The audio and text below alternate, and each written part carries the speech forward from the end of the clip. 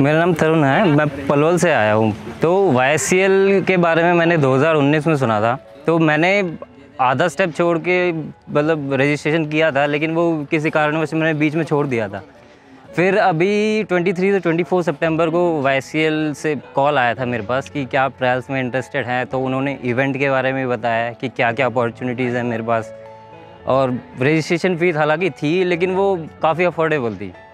तो फिर मुझे काफ़ी इंटरेस्टिंग लगा। मैंने ट्रायल रजिस्ट्रेशन कर दिया और आज यहाँ पे ट्रायल्स देखे भी मुझे काफ़ी मज़ा आया। मतलब काफ़ी अच्छे प्लेयर्स आए हुए थे और जहाँ तक कि मेरी परफॉर्मेंस है, मेरे को लगा मैंने अपना बेस्ट दिया यहाँ पे बैटिंग में भी बॉलिंग में भी एज ए ऑलराउंडर तो काफ़ी अच्छा प्लेटफॉर्म है ये और वाई से कॉल आया था, उन्होंने बताया था मेरे को कि स्टेट में भी मौका मिल सकता है, आगे जाके अगर अच्छा परफॉर्म किया तो नेशनल में भी मौका मिल सकता है।